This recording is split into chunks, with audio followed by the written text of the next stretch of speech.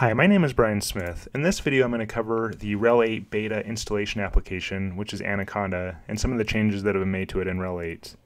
I have two different VMs here. In the lower left I have a RHEL 7.6 VM, and in the upper right I have a RHEL 8 beta VM. And we're going to go ahead and click on continue on both of these.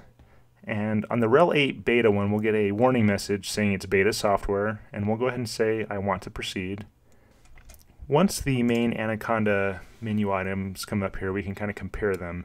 And you can see between RHEL 7.6 and RHEL 8, the main menu options here in Anaconda are all the same for the most part. They're just oriented a little bit differently. So we still have localization and software, and those menu items are the same. And under system, the only difference here is we have an extra one called system purpose. And if we, we'll go ahead and make the RHEL 8 VM full screen here. And then we're going to look at this new system purpose option.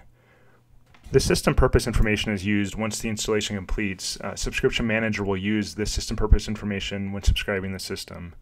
So we'll go ahead and say Red Hat Enterprise Linux Server for the role, and Premium for the service level agreement, and Production for usage.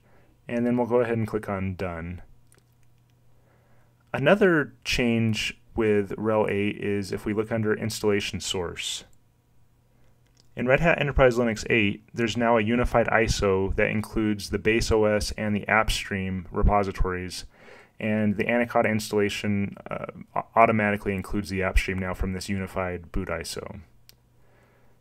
Another change, if we look under the partitioning tool here, RHEL 8 now supports LUKS2 encryption, and if you click, click Encrypt My Data from the Anaconda installation here, it'll use LUKS2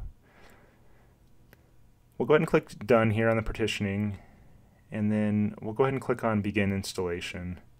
And then we can go ahead and set the root password from here.